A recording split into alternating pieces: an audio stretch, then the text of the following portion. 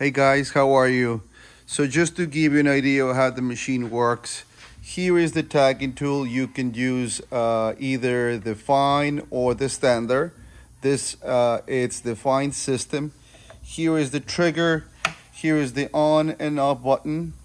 You have the suction cup here, and this is what it's going to push the tag through the needle. Here is where I'm going to place your tags, and this basically is just to put a little bit of pressure to the tag so it doesn't uh, fly up, okay?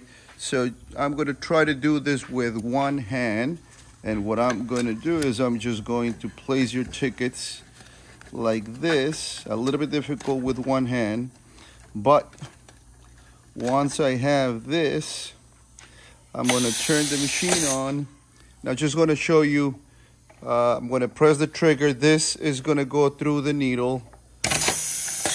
And as you can see, it went a little bit, uh, it made a hole. So it's not aligned 100%. Let's see. So now it is. Let me try one more time. And it is. So now I'm going to stop the video and I'm going to do some tags with an actual uh, t-shirt and so you can see how the machine runs. Okay? Thanks.